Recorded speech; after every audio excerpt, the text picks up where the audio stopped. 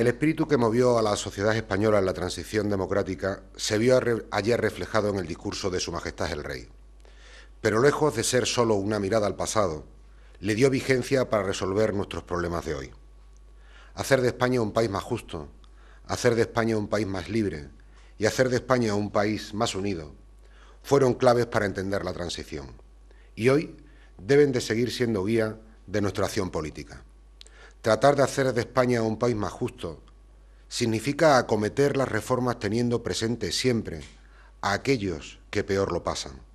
Hacer de España un país más libre es entender que hay que mejorar nuestra calidad democrática siempre y en todos los órdenes. Y hacer de España un país más unido debe de ser una aspiración continua para, respetando nuestra diversidad, saber que siempre hemos salido de las situaciones difíciles todos juntos y que volveremos a salir de esta situación difícil también todos juntos.